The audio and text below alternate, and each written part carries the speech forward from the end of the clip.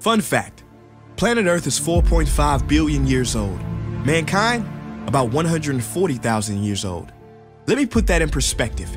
If you condense the Earth's lifespan into 24 hours, that's one full day, then we have been here on this planet for, drum roll please, three seconds. Three seconds. And look what we've done.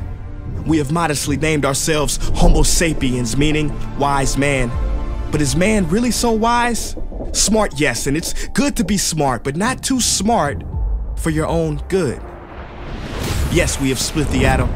Yes, we build clever machines that navigate the universe in search of new homes, but at the same time, those atoms we split created nuclear warfare.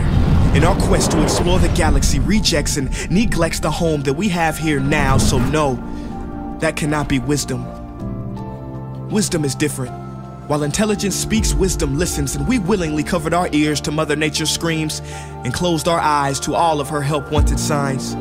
Wisdom knows that every action has an equal and opposite reaction, so if we were wise, we would not be shocked when we see storms that are stronger than ever before, or more drought, hurricanes, and wildfire than ever before, because there's more pollution than ever before, more carbon, more trees cut down than ever before. At a record pace, we have increased the extinction of animals by 1,000 times the normal rate. What a feat. In the next 10 to 100 years, every beloved animal character in every children's book is predicted to go extinct. Lions Lions gone, rhinos gone, tiger, gorilla, elephant, polar bear gone. In three seconds. Species that have been here longer than us will be gone because of us. In this three seconds. In an existence shorter than a Vine video, we turn the circle of life into our own personal conveyor belt. Somebody, anybody help.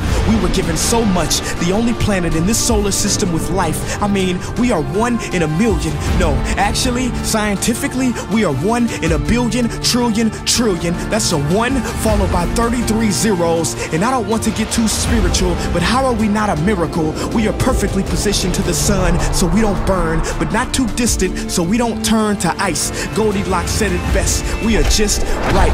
This paradise where we are given medicine from trees, not coincidentally, but because, like the song says, we are family. Literally, everything, every species is connected genetically from the sunflower to the sunfish. And this is what we must recognize before it's too late because the real crisis is not global warming, environmental destruction, or animal agriculture. It is us. These problems are symptoms of us, byproducts of us us, our inner reflection. Loss of connection has created this misdirection. We have forgotten that everything contributes to the perfection of Mother Nature. Corporations keep us unaware and disconnected, but they have underestimated our strength. Contrary to popular belief, millions are waking up out of their sleep, seeing our home being taken right up under our feet. We cannot allow our history to be written by the wicked, greedy, and loony. It is our duty to protect Mother Nature from those who refuse to see her beauty. Call me crazy, but I believe we should have the right to eat food that's safe with ingredients we can pronounce. Drink